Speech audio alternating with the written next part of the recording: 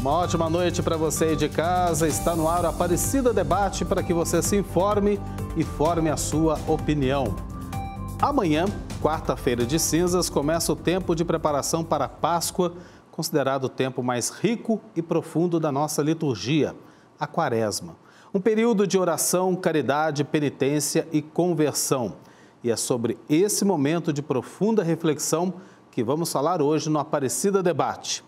Os nossos convidados para o programa desta terça são, aqui em nossos estúdios, conhecidíssimo da TV Aparecida, nosso amigo Padre Luiz Camilo Júnior, missionário redentorista, a quem eu agradeço muito pela presença. Boa noite, tudo bem com o senhor? Seja bem-vindo aqui ao Aparecida Debate. Boa noite, Eduardo. Eu que agradeço, é uma alegria pela primeira vez participar deste programa, que é tão importante esclarecer a fé, levar o conhecimento às pessoas, faz com que cresça em nós o amor e, ao mesmo tempo, o comprometimento com os valores da fé. Gratidão por este momento. E que a gente possa se preparar adequadamente para esse período que vem por aí. Né? Com certeza, que seja realmente um tempo de uma vida nova naquele que faz novas todas as coisas.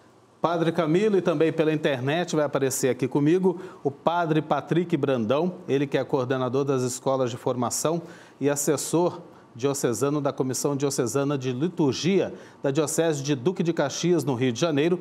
É mestre em Teologia Litúrgica Pastoral e atua no Grupo de Reflexão Litúrgico Pastoral da CNBB, que é a Conferência Nacional dos Bispos do Brasil. Padre Patrick, pela internet conosco nessa noite aqui no Aparecida Debate. Obrigado pela presença, seja bem-vindo aqui ao Aparecida Debate. Boa noite. Boa noite, é uma alegria poder participar com vocês deste momento de debate, de encontro, esclarecimento da nossa fé. Amanhã iniciaremos todos juntos com a igreja este tempo santo que é a Quaresma, para podermos aprofundar ainda mais a nossa fé e o nosso encontro com o Senhor. E por isso nós marcamos esse Aparecida Debate para que a gente possa também tirar algumas dúvidas. A nossa equipe foi até o Santuário Nacional e falou com os devotos sobre essas dúvidas que eles ainda têm sobre o período da quaresma. Então, a gente vai começar pela dona Silvina Domingues. Vamos ouvir qual a questão que ela apresenta ao padre Patrick e também ao padre Camilo. Vamos lá. Eu gostaria de saber por que antigamente na quarta, quinta e sexta-feira santa, a gente não podia comer carne. E depois a igreja liberou e que seria esse jejum só na sexta-feira santa. E eu tenho muita dúvida com isto. Padre Camilo, inclusive, é uma dúvida comum de muitos, né? Sim. Sobre a questão do jejum e comer carne ou não na, na quaresma, Semana Santa. Exatamente. Eu acho que o termo nem seria dizer isso não podia, porque parece que é uma imposição, uma obrigação a igreja ela sempre procurou orientar os fiéis né, para que vivessem a espiritualidade quaresmal e que toda a vivência da caminhada quaresmal provocasse em nós realmente uma conversão, uma mudança de mentalidade, uma mudança de comportamento, fosse esse tempo bonito de Deus restaurar nossa vida e a nossa história. É claro que no passado a penitência quaresmal era bem mais rigorosa, né? Dado a mentalidade da época da igreja, da própria teologia, da ação pastoral. Hoje, a igreja orienta que não se coma a carne, a abstenção da carne, unicamente na quarta-feira de cinzas, iniciando o tempo quaresmal, e na sexta-feira santa. Esses são os dias que a igreja propõe para a abstenção da carne.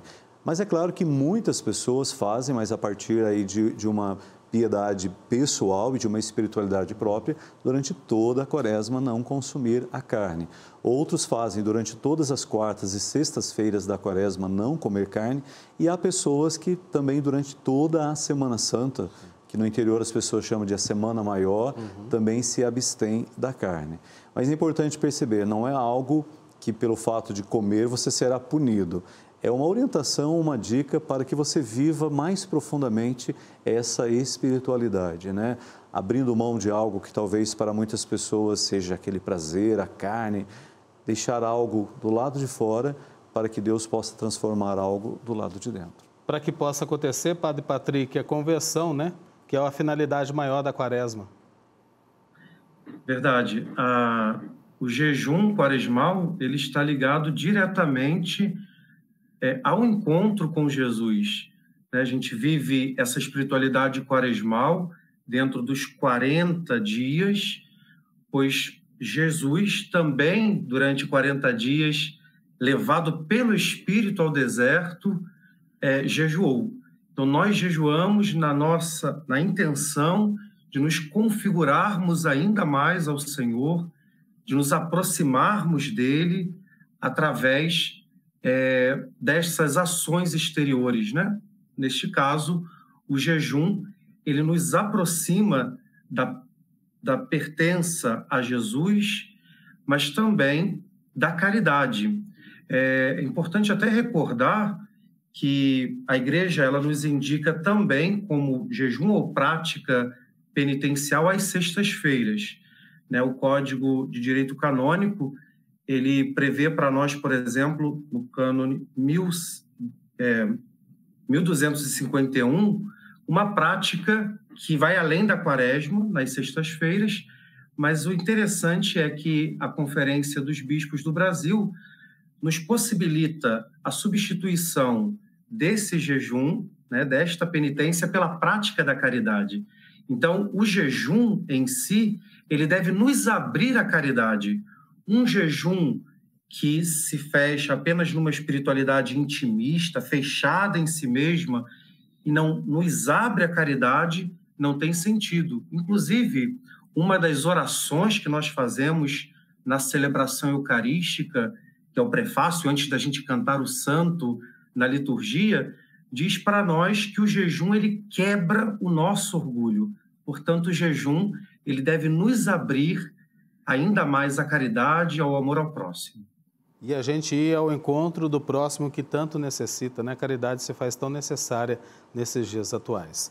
Vamos a outra pergunta, agora do Rubens de Moraes. Vamos lá. Eu gostaria de saber, então, a, a, o significado da quarta-feira de cinzas, que eu não entendo bem a, qual o significado. Quem responde? Padre Camilo, vamos lá. É a quarta-feira de cinzas que nos coloca aí na, no início da caminhada deste tempo para a Páscoa. E é na Páscoa que está o coração da nossa fé. É na ressurreição do Cristo que nós renovamos toda a nossa esperança de vida.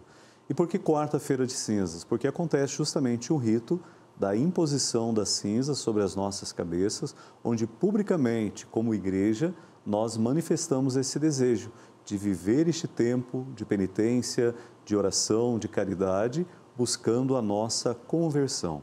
As cinzas têm uma simbologia muito importante, né? Antigamente, as pessoas que viviam nas roças, quando se ia fazer uma lavoura, Eduardo, uhum. se queimava né, o mato que lá estava, o capim, tudo aquilo que não era útil. E depois de tudo queimado, então vinha a chuva, fazia brotar a verdadeira grama e não mais aquela praga que estava lá. Uhum. Então, o queimar faz com que haja a possibilidade de surgir algo novo. novo. No contexto bíblico, quando o homem é criado, ele é criado da terra. Lembra-te que és pó e ao pó voltarás. Até uma das expressões que se usa quando vai impor a cinza sobre a cabeça do fiel. É, o profeta Jonas, quando é chamado a pregar ao povo de Nínive a conversão para que eles voltem o coração para Deus, e após ele conseguir pela pregação motivar desde o simples membro até o rei a conversão, eles se colocaram com sacos e sentaram sobre a cinza para lembrar Ninguém é maior do que ninguém. Ninguém pode julgar que a sua vida é mais importante ou que a sua vida tem mais valor do que a vida do outro. Então, as cinzas, ela faz com que a gente recorde que sem Deus não somos nada. A vida vem do sopro dele, né? E só temos vida se permanecemos nele. E a humildade é necessária em você deixar que a igreja lhe coloque um pouquinho de cinza. No mundo hoje, onde as pessoas se preocupam tanto com a aparência, né? qual o melhor shampoo, qual o melhor creme que eu vou usar, eu permitir que se coloque cinza na minha cabeça, eu estou demonstrando, Senhor, realize em mim a sua obra de amor, me ensine a ser pequeno para que o seu amor me engrandeça. Então, é a disposição do coração em acolher esta vida nova que Deus quer nos dar no seu próprio Filho Jesus Cristo. Parecida debate é uma catequese, né? E até a gente propõe isso para quem está assistindo, porque a gente entendendo quais são os símbolos e essas celebrações que acontecem a partir da quarta-feira de cinzas, a gente vai poder viver intensamente esse período, né? E vale também ressaltar que as cinzas com as quais nós iniciamos a caminhada quaresmal, na maioria das comunidades ela é feita com os ramos da Semana Santa do ano anterior. os ramos que fizeram com que aclamássemos o Cristo entrando triunfal em, em Jerusalém, para dizer a penitência que fazemos, ela nos leva para a ressurreição. Nós vamos assumir com Cristo aí um, um caminho de renúncias, um caminho de buscar a vontade de Deus para o centro da nossa vida novamente. Mas os ramos queimados e colocado, impo, é, feito a imposição sobre os fiéis, nos recorda, nesta caminhada com Cristo, nós iremos também com Ele terminar em ressurreição. É a grande esperança da caminhada quaresmal. Padre Patrick, agora o senhor e a dúvida é da Sandra Ferrari, vamos ouvir. Eu gostaria de saber o significado dos 40 dias da quaresma. É, por que não menos de 40 ou mais? E eu gostaria muito que o padre respondesse essas perguntas. Tá aí, padre Patrick, é com o senhor agora. então, a, a palavra quaresma vem de 40 e justamente para manifestar para nós é, aqueles 40 dias que Jesus se retira no deserto para se encontrar com Deus. O texto bíblico, principalmente o texto de Mateus, é belíssimo, porque ele nos apresenta que Jesus vai ao deserto não para tentação, mas ele é levado pelo Espírito ao deserto. É nesse mesmo intuito que nós entramos e amanhã abriremos esse tempo santo, sendo levados pelo Espírito ao deserto para aprofundarmos a palavra de Deus. Jesus vence as tentações como filho de Deus, porque é íntimo da palavra de Deus, ele é a grande expressão da palavra do Pai, é a palavra encarnada. Portanto, nos 40 dias, Jesus sendo levado pelo Espírito ao deserto, vivendo este tempo, ele vence as tentações existencialmente, porque traduz na sua vida, a sua vida é a expressão da palavra de Deus. E esses 40 dias que nós, como igreja, é, vivemos, são um número simbólico para nós. Os 40 dias de Jesus no deserto, os 40 anos do povo eleito na sua travessia para chegar na terra prometida, poderíamos pensar é, também os 40 dias em que Moisés esteve no Monte Sinai. E o número 40 na Bíblia significa preparação para a plenitude. É a plenitude da festa da Páscoa, a Páscoa do Senhor que nós queremos entrar. O Padre Camilo falava de forma belíssima para nós o significado das cinzas de forma existencial, né? dando até um exemplo do campo, da zona rural. E a Páscoa de Jesus ela deve é, encontrar na nossa vida reflexo, ou seja, a nossa vida deve se encontrar dentro da Páscoa do Senhor, na Páscoa da gente, na nossa vida, na nossa existência, através, através das nossas paixões, dos nossos sofrimentos, vão se misturando os sofrimentos de Cristo. E ali nós vamos também experimentando sinais, pequenas sementes da Páscoa do Senhor. Então, durante os 40 dias que nós entramos com Jesus no deserto, nos preparando para celebrar a Páscoa do Senhor, existencialmente na nossa vida, nós recordamos o grande acontecimento pascal do Senhor em nossas vidas, que foi o dia do nosso batismo. E por isso nós nos purificamos, renovamos a nossa fé, nos encontramos com Jesus através do jejum, que já falamos, através da oração, do encontro com a palavra, para darmos ainda uma resposta mais autêntica ao Senhor. Bem, está aí a resposta do Padre Patrick. Agora quem faz a pergunta para o Padre Camilo é a Rosana de Souza. Vamos ouvir. Eu gostaria de saber quais os pilares da quaresma. Padre Camilo, os pilares da quaresma. Iniciando a quaresma com a celebração da quarta-feira de cinzas, a própria palavra de Deus ela já vai nos dar quais são as atitudes fundamentais que nós precisamos exercitar e vivenciar para que ocorra realmente a conversão, né, a transformação da nossa vida. O Evangelho traz três atitudes. Ele apresenta a oração, a esmola e o jejum. Essas três atitudes vivenciadas, claro, numa dimensão muito mais ampla, né? A própria questão da esmola, a caridade, crescer na solidariedade, mover-se de compaixão pelo ser humano, fazer com que a fé seja uma força transformadora do lugar onde você está, né? que a fé seja uma forma de defender a vida, e a vida vale o próprio Cristo, que ele entrega no altar da cruz a sua vida por nós. Então a vida de cada pessoa tem o valor da vida de Jesus. A oração intensificar a vida de oração pessoal, em família e em comunidade. E permitir que neste tempo a escuta atenta à palavra de Deus possa nos colocar novamente no caminho da verdade do amor. Quando no Evangelho do decorrer da, da quaresma, geralmente no primeiro domingo da quaresma, nós vamos ler o evangelho das tentações de Jesus, como há pouco o padre Patrick mencionou, né? Jesus vai no deserto, lá ele é tentado e após este momento, então, ele vai iniciar aí a sua missão. As tentações que Jesus enfrenta é a tentação do ter, do poder e do prazer. Tentações que tocam o nosso coração durante toda a caminhada da vida. Jesus foi tentado a abandonar o projeto do Pai e a seguir um projeto construído pelo mundo. Talvez nós somos tentados por essas, essas realidades em todos os momentos. O ter sem a partilha, o poder sem a dimensão do serviço e o prazer sem o compromisso do amor. Por isso, a catequese quaresmal é uma catequese profundamente batismal.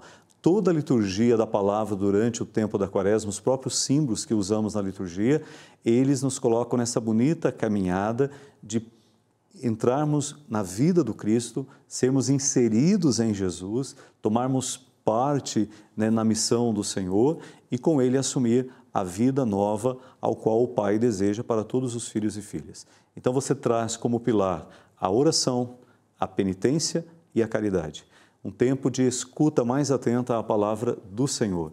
Um momento de uma profunda revisão de vida e ter muita humildade e reconhecer o que Deus precisa transformar dentro de mim para que eu possa mudar aquilo que está fora de mim vencendo aí as tentações tão presentes no mundo de hoje do materialismo, do individualismo, né? o prazer pelo prazer sem nenhum compromisso com a vida. E essa espiritualidade vai nos colocar então na bonita dinâmica que o batismo tem que ser para nós. É uma vida nova com Jesus. A liturgia quaresmal é uma liturgia batismal que vai então culminar na ressurreição, onde Cristo nos dá com ele uma vida nova, a vida que o Pai deseja para seus filhos e filhas. E para que a gente possa alcançar essa renovação plena, a gente precisa abrir o nosso coração a Deus. Padre disponível falou, para é, Deus. Estamos de volta e hoje o Aparecida Debate fala sobre a quaresma. Participam do programa com a gente aqui em nossos estúdios o Padre Camilo Júnior, missionário redentorista, e pela internet o padre Patrick Brandão, ele que é coordenador das escolas de formação e assessor diocesano da Comissão Diocesana de Liturgia da Diocese de Duque de Caxias, no Rio de Janeiro. Durante a quaresma, nós temos alguns símbolos e costumes que são próprios desse tempo litúrgico. A Rafaela Lourenço traz os detalhes para a gente. A Igreja Católica inicia todos os anos, na quarta-feira de cinzas, o tempo da quaresma, que antecede a celebração mais importante do cristianismo, que é a Páscoa. Só que para entender um pouco mais de toda essa simbologia também da quaresma, eu converso com o Padre Domingos Sávio. Padre, explica um pouquinho para a gente, né? A gente tem uma introdução da quaresma e, é claro, toda essa questão dos símbolos, que é tão importante a gente entender também, não é mesmo? É, partamos do primeiro símbolo, talvez seja aquele que mais nos dê explicação do que seja esse tempo de quaresma. Quaresma lembra 40, aí está. Acho que um grande símbolo é exatamente isto. O povo de Deus estava no Egito e Deus não se conformava com aquilo e queria libertar o povo, levar o povo para a terra prometida, que seria uma terra, podemos dizer, sem faraós, sem dominadores, sem dominados também. Deus tira o povo do Egito e por 40 anos caminha com esse povo pelo deserto. Por que isto? Porque Deus não queria que o povo, saindo do Egito, levasse o Egito no coração. Então o faraó fosse junto, tudo aquilo quer dizer, então eles iam entrar numa terra, uns iam ser faraós e outros iriam ser dominados. Então, por 40 anos, Deus vai purificando esse povo para que realmente entrasse na terra prometida, até na comparação do Antigo Testamento, uma terra espaçosa, como que o Egito fosse um, uma prisão que quase nem conseguiam se mexer. Lá é uma terra espaçosa, onde corresse leite e mel, isto é, corresse a fartura. Então Deus queria isto. E a quaresma é todo ano essa tentativa como que diria assim, um novo esforço que a igreja tenta colocar todos nós cristãos nessa dinâmica. O Egito, por mais que nós não queiramos, mas nós temos um, um tanto de Egito ainda dentro de nós. Queremos ser mais do que os outros, um, às vezes, tantas vezes a arrogância que, que domina a gente, quer dizer, é o faraó que está dentro de todos nós. Então, nesse tempo de quaresma, que dura 40 dias, até 40 na, na simbologia bíblica, por si seria a idade, a vida, a duração de uma vida humana. Uma pessoa humana por si, na Bíblia, ela viveria 40 anos. Então a igreja começa a quaresma, exatamente preparando, podemos dizer, a terra prometida que agora podemos dizer que a terra prometida é Jesus. E é o principal, a gente falar sobre essa fraternidade, essa solidariedade, né, padre? E a questão dos símbolos também, a gente sabe em relação à cruz, também a questão da cor roxa, né, o roxo, o porquê de, desta cor? Então, assim pela na simbologia da igreja, o roxo simboliza exatamente a penitência. Então, no caso, quase que simbolizando lá o jejum, quer dizer aquele esforço interior que cada um de nós tem que fazer para vencer, como que ir arrancando as raízes do mal para, para que de fato possa plantar em seu lugar exatamente o bem. Ainda dentro deste tempo da quaresma, há algum símbolo que o senhor tenha para nos destacar, para quem está em casa poder entender um pouquinho melhor também? Diria sim, mas claro que não é só da quaresma, mas a cruz. Então a cruz acho que lembra exatamente, até eu vejo a cruz como a radiografia mais perfeita que nós temos, podemos dizer, da plena terra prometida. Porque aqui, vivendo a fraternidade, a solidariedade, nós estamos vivendo a terra prometida, estamos trazendo o céu para cá. Só que não dá para trazer o céu como ele é mesmo. a terra prometida será exatamente no céu, quando nós lá um dia chegarmos. Então, para mim, a cruz é o maior, melhor símbolo que tenta nos explicar o que é a Trindade, qual é a vida da Trindade. Porque cruz, claro, que é é o lugar onde Jesus de fato mais sofreu e tudo mais, mas ele sofre por amor. Então, a cruz é, digamos assim, a definição da própria vida de Deus. É um amor que não se dobra, que não se deixa vencer, que vai até o fim, e como no caso de Jesus, ele chega a morrer por amor até por quem o matava. Eu gostaria de desejar para mim e querer fazer isso e para todos nós que nós procurássemos realmente viver com intensidade essa quaresma, que nós de fato saíssemos dela um pouquinho menos de Egito no coração, um pouquinho mais de terra, de terra prometida no coração, eu diria um pouquinho mais de vida trinitária, desse amor que não se mede, que se doa e sempre amor, amor que não se deixa vencer mesmo pelo ódio que possa levar à morte. Obrigada, Padre. Então, que toda essa intensidade também possa chegar até o seu coração. E essa questão de toda a simbologia também causa uma grande reflexão para gente. E esse é o nosso convite para que você possa caminhar com a gente durante esse período quaresmal. E falando sobre os símbolos da quaresma, a gente tem mais uma dúvida e a pergunta vem da Anaete Manganelli. Vamos ouvir aí. A minha dúvida é saber por que a gente tem o costume de cobrir os santos durante a quaresma. Essa é a minha dúvida. Gostaria muito de saber uma explicação. Então tá aí, agora a vez com o Padre Patrick. Por que, que a gente tem essa tradição, esse costume de cobrir os santos durante a quaresma? Então, a liturgia ela é feita de diversos símbolos, sinais que tocam a nossa sensibilidade, tocam as nossas emoções. Os símbolos, os sinais que a liturgia nos apresentam devem tocar a nossa sensibilidade e nos conduzir ao coração do mistério pascal, o coração do mistério de Cristo. Durante o período quaresmal, nós temos diversos símbolos.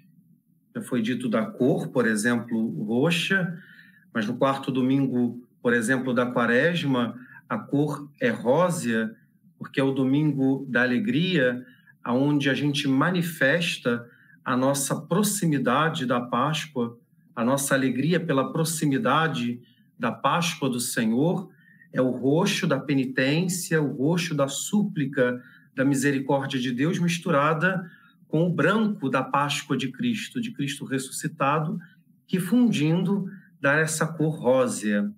Além desse grande sinal, desse grande símbolo que nos conduz à misericórdia de Deus, à festa do encontro com o Senhor, nós temos outros sinais. Por exemplo, uma das marcas é, da quaresma para nós, no espaço ritual, no espaço celebrativo, nós temos o despojamento e também a sobriedade. Por exemplo, a utilização de flores nós evitamos e tentando responder agora a pergunta que nos foi feita, também esse costume antigo de cobrir as imagens. É importante a gente entender que após a renovação do Concílio Vaticano II, isso aconteceu aproximadamente 60 anos atrás, nós é, mudamos algumas características da quaresma. A quaresma, por exemplo, nos textos, no espaço celebrativo, o que era marcado mais neste tempo era mortificação corporal, era a insistência de um jejum severo, quase estéril, quase com medo da presença do Senhor. Nós, como falamos, o jejum, ele deve nos conduzir ao encontro com o Senhor, deve ser um jejum cheio do Espírito de Deus que nos conduz à caridade do irmão.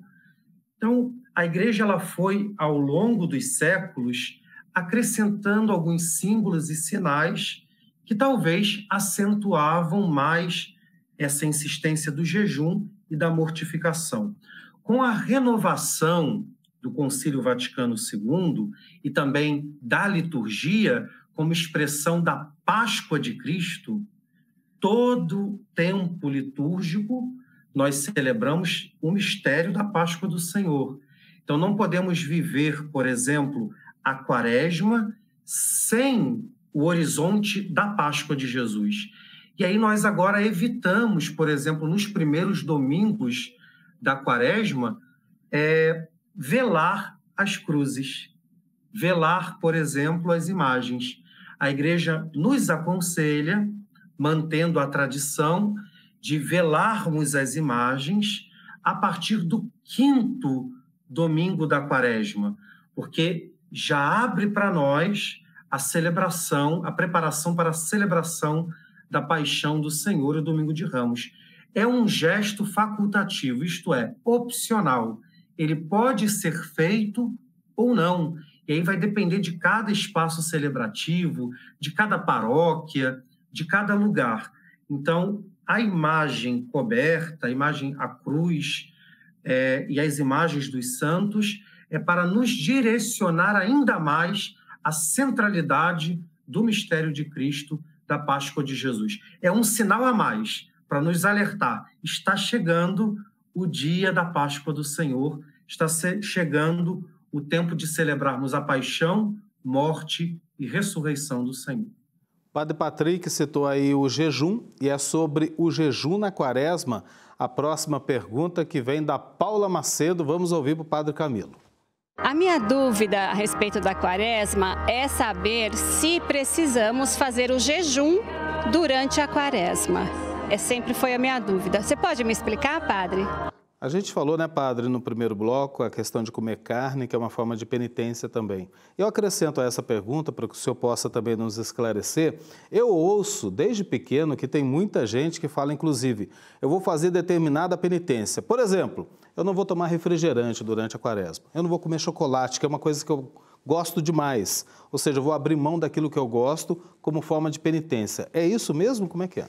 Isso é uma penitência. Uhum. Né? É algo que você vai dizer se eu que gosto tanto de chocolate, mas eu consigo ficar durante esse tempo me privando deste prazer, então eu sou capaz também de mudar muitas coisas da minha personalidade que não condizem com a minha fé.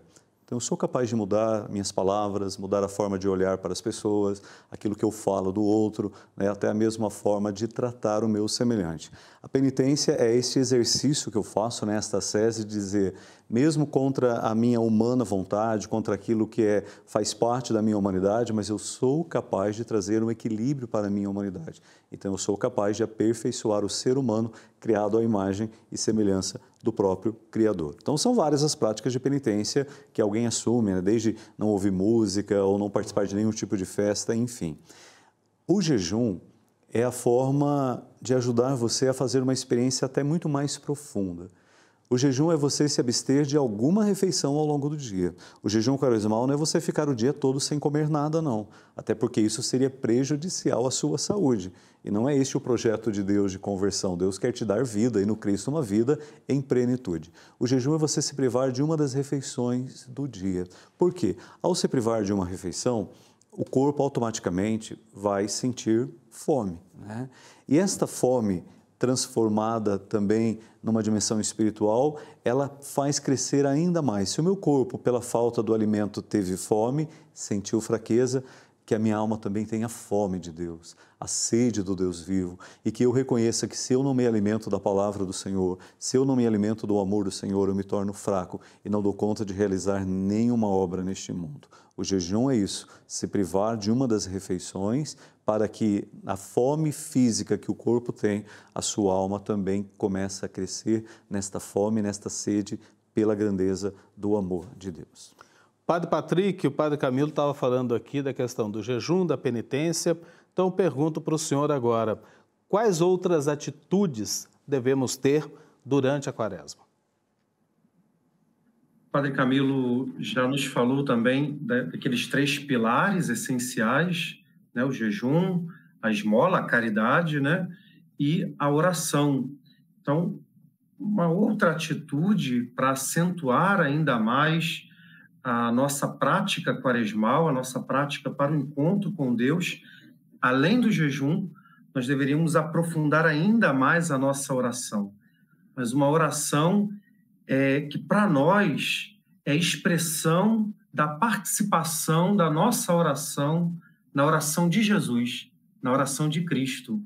Então, práticas pessoais de oração são importantes, a oração pessoal, o encontro com a palavra de Deus, quem sabe uma leitura orante da palavra, discernindo a nossa vida pessoal, a nossa vida familiar, à luz da palavra de Deus.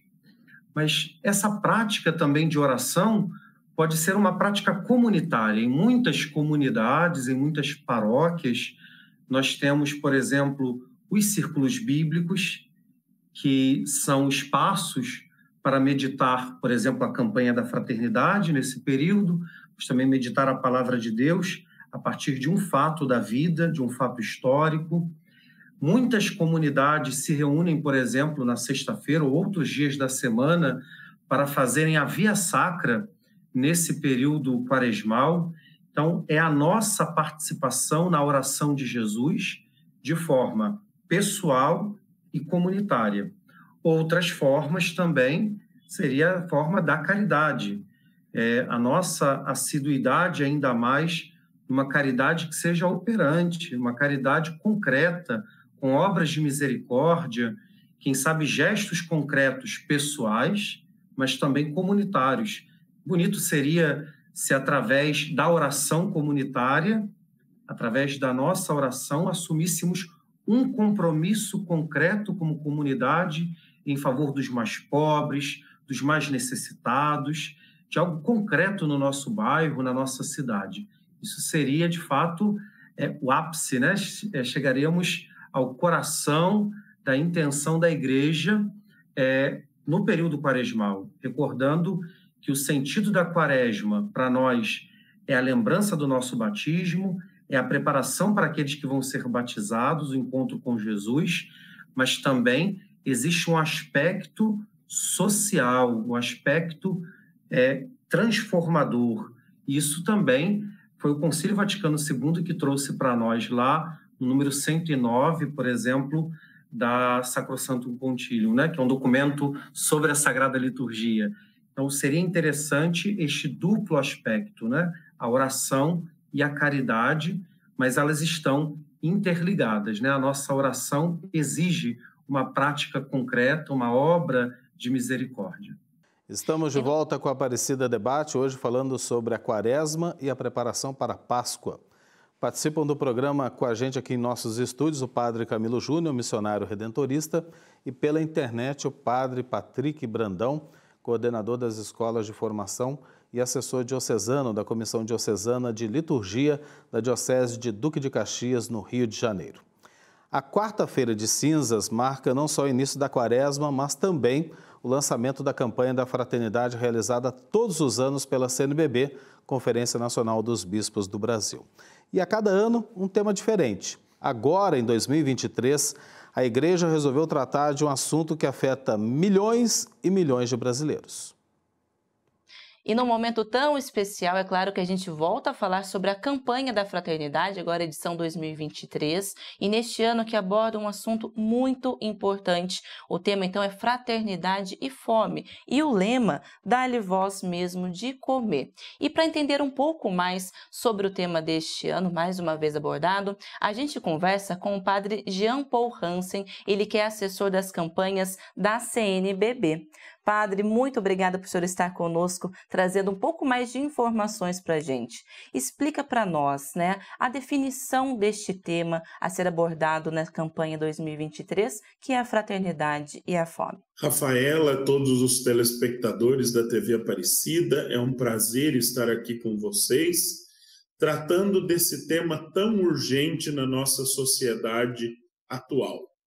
Mais uma vez, a CNBB propõe para o nosso projeto de conversão da Quaresma, que é a campanha da fraternidade, esse jeito brasileiro de viver a Quaresma, de viver a conversão numa dinâmica pessoal, comunitária e social acerca da fome. A fome é um grave problema da nossa sociedade hoje. É um problema mundial é um problema decorrente da, da pandemia da Covid-19, decorrente da guerra, decorrente de tantos outros fatores, inclusive de fatores nacionais, que precisam da nossa conversão. A nossa conversão nessa quaresma deve começar pessoalmente, passar pelas nossas comunidades eclesiais e desembocar na sociedade civil em que nós vivemos, que é onde se pode resolver o problema da fome. Exatamente, padre. Infelizmente, né, até conversávamos antes dessa gravação, termos que abordar mais uma vez este tema. É, o terceiro, é a terceira vez em que o tema da fome é abordado, e o senhor citou até mesmo a questão das guerras, a questão da pandemia que veio afetando e muito né, todo o mundo. Como que foi, então, essa decisão de abordar mais uma vez e de uma forma mais incisiva para também tocar a todos né, com este tema? É, a campanha da fraternidade já tratou da fome em 1975, quando nós estávamos em pleno desenvolvimentismo no Brasil. Já tratou em 1985, quando nós estávamos no processo de redemocratização. E agora, em 2021, os bispos decidiram que em 2023 nós trataríamos pela terceira vez o tema da fome. O tema da campanha da fraternidade é sempre escolhido dois anos antes da sua realização. E o que motivou os nossos bispos a escolherem esse tema para 2023, infelizmente, foi esta dura realidade de voltarmos ao mapa da fome, e de vermos tantos irmãos, 33,1 milhões de brasileiros em alguma situação de insegurança alimentar grave. Mais da metade da população em alguma insegurança alimentar, leve, moderada ou grave. Mas 33 milhões sofrendo o flagelo da fome. Isso motivou os nossos bispos a tratarmos pela terceira vez, e eu espero sinceramente que seja a última, O objetivo geral da campanha deste ano é justamente de sensibilizar a sociedade e a igreja para a questão da fome, que atinge milhões de pessoas. Não ficar apenas nesta sensibilidade, e sim gerar compromissos que a transforme a partir do Evangelho. E é triste, né, Padre Camilo, a gente vê imagens como esta, né, de uma família que não sabe se vai ter o que comer ao longo do dia, né? São milhões de brasileiros que se encontram nessa situação e é muito pertinente a igreja colocar esse tema para que seja aprofundado durante a campanha da fraternidade. E aí eu já pergunto para o senhor também, por que realizar e aprofundar as discussões, reflexões da campanha da fraternidade durante a quaresma? É importante compreender, né, Eduardo, que a conversão não é voltar o coração unicamente para Deus. Quem verdadeiramente move o seu coração para Deus vai também mover o seu coração para o seu semelhante. Uhum. Então, a Quaresma, já desde 1964, ela também realiza esta campanha. O bom seria se não houvesse a necessidade de fazer campanhas da fraternidade. Que bom seria se a fraternidade fosse algo comum né? entre nós, uhum. que seguimos a Cristo, que conhecemos o seu Evangelho, que nos alimentamos da sua vida. Mas por perceber que a fraternidade ainda não é algo tão presente na vivência da nossa fé. Então a igreja nos coloca numa campanha para resgatarmos a dimensão da fraternidade, porque toda fé, ela tem que ser transformadora da realidade social. A fé é esta graça que temos de poder, sustentados pela palavra do Senhor e conhecendo o projeto de Deus, que é projeto de vida, nos comprometermos com a vida, principalmente a vida ferida, a vida esquecida, a vida abandonada. Então, trazer o resgate daquilo que nos identifica a Cristo. Nisso o mundo reconhecerá que vocês são meus discípulos, se houver amor entre vós. Né? E o amor não é uma palavra bonita que a boca declama, o amor é este comprometimento com o outro, acolher o outro, né? mover-se de compaixão pelo outro, sentir a dor do outro. Então, se realmente nós deixamos Deus alcançar o nosso coração, nós precisamos também fazer com que este coração alcance os irmãos. E aqueles que precisam de gestos concretos de amor para que o sofrimento não lhes roube o significado da vida. É a doação ao próximo, né? A gente vê no outro o próprio Jesus. Isso mesmo. Tive fome, me deste de comer. Tive sede, me deste de beber. Então a conversão tem que nos fazer a encontrar com Cristo presente no irmão que vem ao nosso encontro ou do irmão ao qual, ao qual eu preciso ir ao seu encontro. Padre Patrick, eu pergunto agora para o senhor, né? O Padre Camilo é, falou muito bem sobre esse assunto, iniciando a nossa discussão sobre a, sobre a campanha da fraternidade proposta, e neste ano especialmente falando da fome que afeta milhões e milhões de brasileiros. Como transformar a palavra em ação efetivamente, né? A caridade, a fraternidade, como é que a gente deve, agora o recado para todo mundo que está assistindo, hein? Para vocês aí, que são nossos amigos aqui da TV Aparecida. Como viver plenamente a campanha da fraternidade em comunidade e em família? Para nós cristãos, o, o, amor ao próximo, o nosso empenho social não pode se reduzir a mero assistencialismo. Por isso, a nossa oração deve ser um compromisso concreto com os irmãos né, e as irmãs, os irmãos e irmãs mais sofredores então, nesse ano, é, com o tema Fraternidade e, e Fome, o próprio lema já nos convida, e a palavra de Deus que nos convida, dai-lhes vós mesmos de comer. E é concretamente a questão da fome. Infelizmente, o Brasil voltou para o mapa da fome, esperamos que ele saia, e mas, ao mesmo tempo, nós, a nossa comunidade, a nossa família deve se empenhar ainda mais para trabalhar, primeiramente, na divulgação da campanha da fraternidade, aí podemos fazer através dos círculos de oração, que são círculos é, de oração, mas também de debate dos temas. Então, se na tua paróquia é, você tem a oportunidade de participar de uma formação a respeito da campanha da fraternidade na sua diocese, participe, é, se empenhe para participar, para debater o tema, para entender o tema, para esclarecer, talvez, as dúvidas acerca deste tema. Mas, ao mesmo tempo, nós podemos ter gestos concretos nas nossas comunidades. Né? Já falávamos disso, mas poderíamos talvez intensificar ainda mais, de poder colaborar com pessoas concretas da nossa comunidade, talvez vizinhos nossos, pessoas próximas. Infelizmente, voltamos para o mapa da fome e não é difícil encontrarmos pessoas que estão desempregadas, pessoas que estão precisando de ajuda material, mas poderíamos também ampliar o leque da fome e poderíamos pensar naquilo que o Papa Francisco chama de periferias existenciais.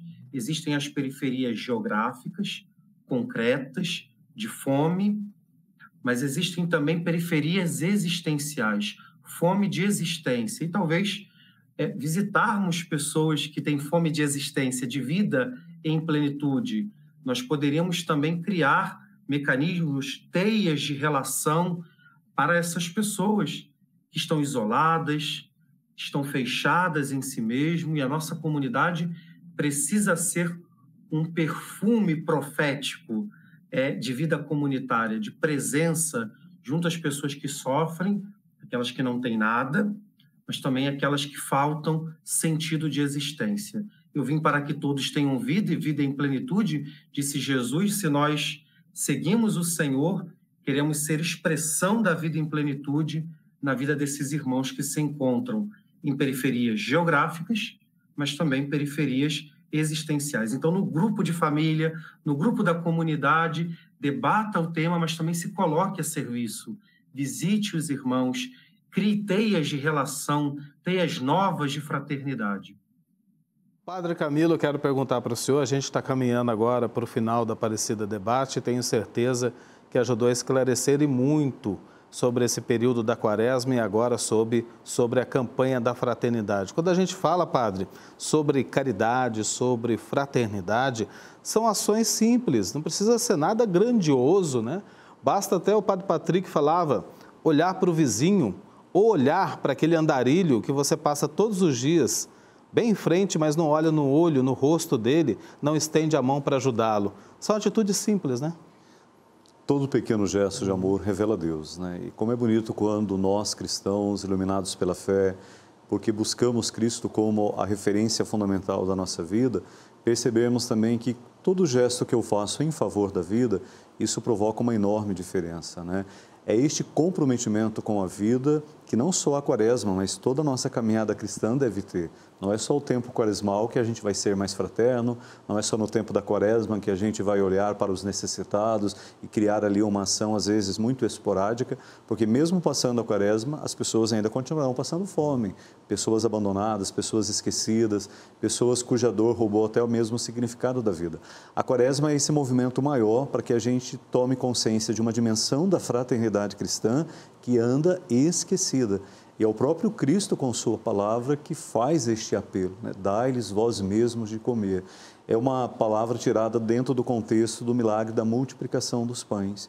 E às vezes nós temos aquela tendência de achar, ah, está nas mãos de Deus a responsabilidade em colocar o pão de cada dia na mesa dos seus filhos. Não a missão de colocar, de partilhar o pão, até para que a gente veja o pão sobra e cestos serão recolhidos, está nas nossas mãos. Porque a fome, Eduardo, ela não é consequência da falta de pão. Pão tem. Em muitos lugares o pão é jogado fora, o pão embolora, o pão estraga. Então a fome é consequência da falta de amor.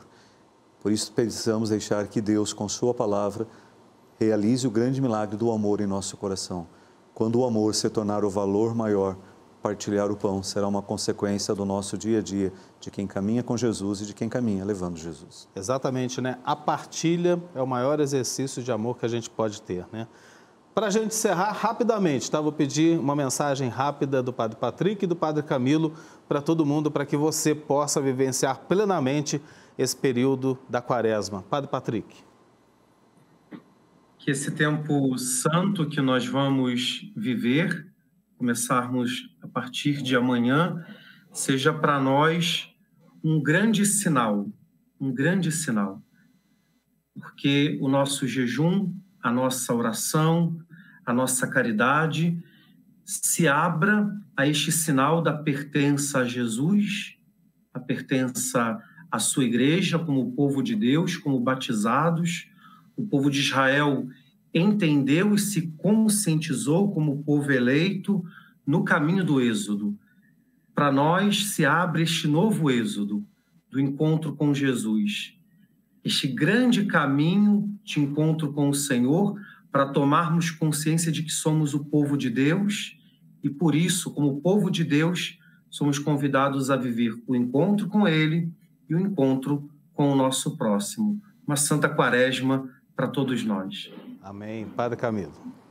Então amanhã vamos começar essa bonita caminhada onde queremos no Cristo encontrar uma vida nova. Permita que a palavra de Deus possa alcançar o seu coração. Né? Permita que a oração que você vai intensificar neste tempo, a oração pessoal, a oração em família, a oração em comunidade, possa realmente te humanizar. A santidade não é você querer se tornar um ser totalmente espiritual, não é querer se comportar como anjo. A santidade passa pela nossa humanidade. Então vamos viver este tempo, este bonito desejo de deixar de novo Deus ser Deus na nossa vida. E quando aprendermos de Deus a grandeza do amor, a força do amor, o amor que é libertador, o amor que cura, o amor que salva, nós então seremos neste mundo a bonita imagem da luz de Deus que diante do ser humano ferido e machucado, nós somos capazes de transfigurar pela vivência concreta da caridade. Que assim seja. Amém. Assim encerramos o Aparecida Debate. Falamos hoje sobre a quaresma, esse tempo de preparação para a Páscoa, considerado o tempo mais rico e profundo da nossa liturgia. Um período, como a gente viu, de oração, caridade, penitência e conversão. E a campanha da fraternidade celebrada pela Igreja, que este ano fala sobre a fome, um problema que afeta milhões e milhões de brasileiros. Contamos com a participação aqui em nossos estúdios, a quem eu agradeço muito, o padre Luiz Camilo Júnior, missionário redentorista. Nosso muito obrigado, uma ótima noite para o senhor. Obrigado, boa noite. E pela internet, o padre Patrick Brandão, coordenador das escolas de formação e assessor diocesano da Comissão Diocesana de Liturgia da Diocese de Duque de Caxias, no Rio de Janeiro, também é mestre em Teologia Litúrgica Pastoral e atua no Grupo de Reflexão Litúrgico Pastoral da CNBB, que é a Conferência Nacional dos Bispos do Brasil, a quem eu também agradeço. Muito obrigado pela presença aqui conosco no Aparecida Debate. E se você quiser rever esse programa, até mesmo compartilhar com a sua família e amigos, acesse aí o canal da TV Aparecida no YouTube e quando fizer comentários em nossas publicações, utilize a hashtag Aparecida Debate, que volta na próxima terça-feira. Bom descanso para você. Até a próxima. Música